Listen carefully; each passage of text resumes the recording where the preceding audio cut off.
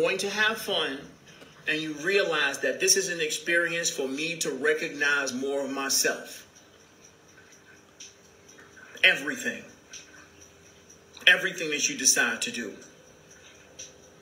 Most souls, or at least within this 3D or third dimensional energy, we feel as if when we make decisions, it's either it's a it's a it's a pass or fail approach. It's a pass or fail situation. We either, and once again, that caters to um, us measuring our worth when we feel like it's a pass or fail thing. And a lot of times we do it not because we want to do it, because but because the ego has this feeling that it needs to prove something, prove self, or show others our value and how important or skilled we are at a particular task. Of course, this is distorted and feeling that we need to prove ourselves or we go into things attempting to win, right? Or prove something, we can let that go. Yeah, of course, the ego self. That's that divine masculine and this insecurity, wanting to pound on his chest and show everybody uh, what it is. And it's like, you ain't got to do all that. You can just be God if you wanted to. You can just chill and come and enjoy the experience and have fun and realize more of yourself through the experience. You can do that. There's nothing to prove here when you when you're confident already. When you love yourself already. You can't fail. When you love yourself already. When you've accepted yourself already, there's nothing to prove. I cannot fail. I came here to have fun.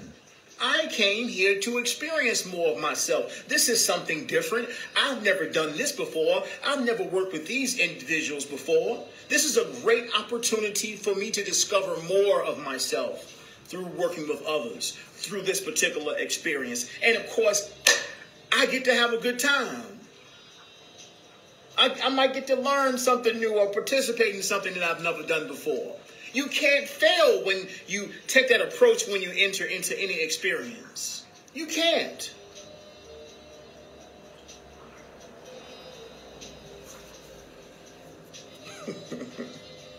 the mind is looking for recognition, confirmation, and validation. Want somebody to pat him on the head or give him the trophy and all this. And it's like you ain't gotta, you ain't gotta do all that when I realized I was experiencing myself.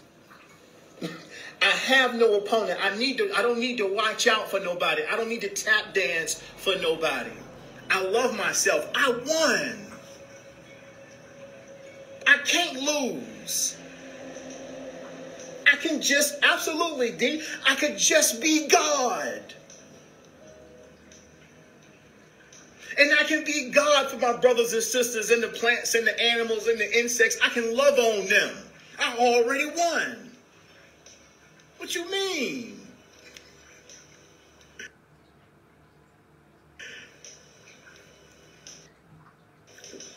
What?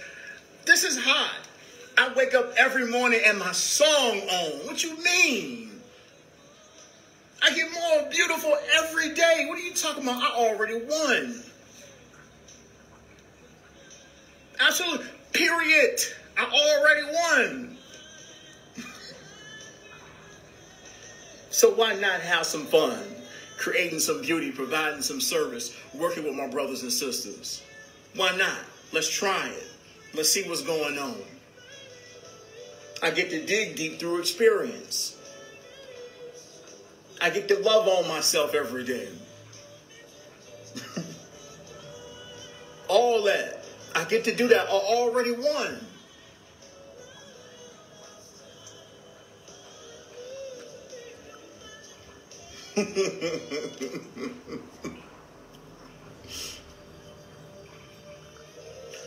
this recognition validation and confirmation thing, listen, um, that's a rocky ground to stand on.